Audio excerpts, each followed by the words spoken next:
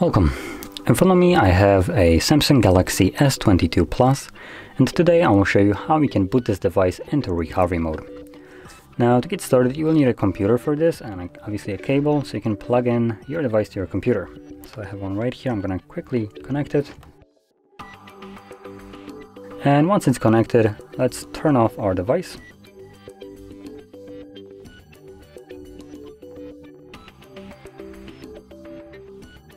and once it turns off you want to hold power and volume up at the same time.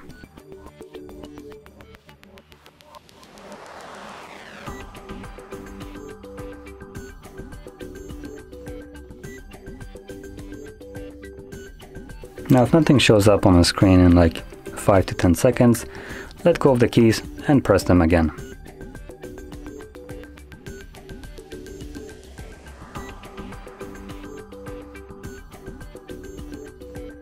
And as you can see this will boot us into recovery mode.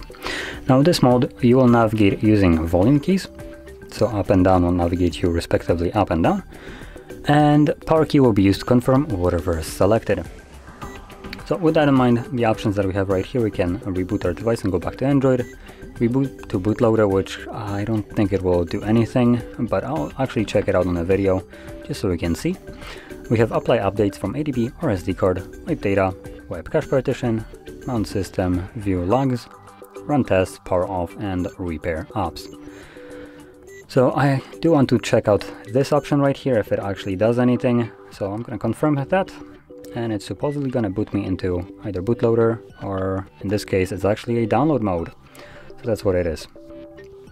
And now just to leave this specific mode I need to hold power key and volume down. So that's what I'm going to do right now.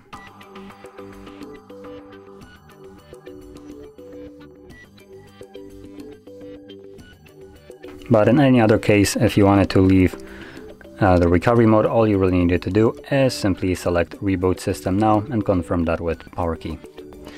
And additionally, it looks like once I left the download mode, it didn't uh, turn on the device automatically, which is not what will happen if you selected reboot system now. So I need to turn it back on.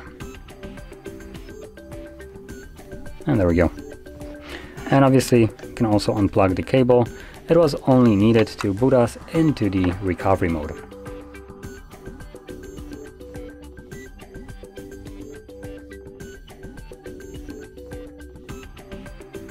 So there we go. As you can see, we are now back in Android.